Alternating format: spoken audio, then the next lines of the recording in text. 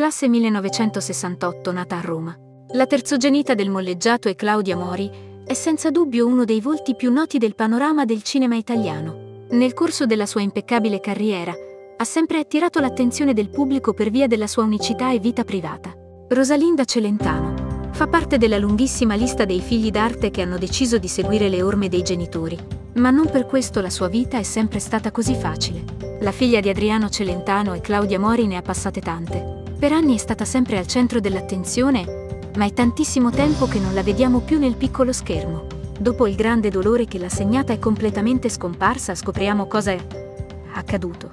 Lei ne ha affrontate tantissime, addirittura durante un periodo buio della sua vita ha vissuto diversi disordini alimentari. Purtroppo non è finita qui perché all'età di 47 anni ha scoperto di avere un tumore al seno. In passato la vedevamo spesso nel piccolo schermo, Invece negli ultimi anni è completamente sparita dalle scene. Scopriamo di più.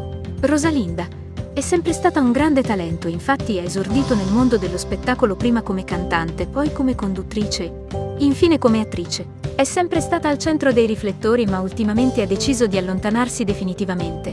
Una delle sue ultime apparizioni in televisione è stata a Ballando con le Stelle. Dopo la fine del programma di Milli Carlucci, ha abbandonato anche il mondo dei social lasciando migliaia di fan delusi. Non abbiamo informazioni sui motivi del suo ritiro dalle scene, ma sappiamo che più volte Rosalinda ha spiegato di non essere molto brava con Instagram.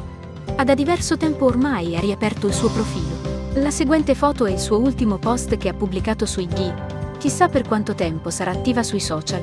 Ma per fortuna oggi va tutto bene e lei si è ripresa.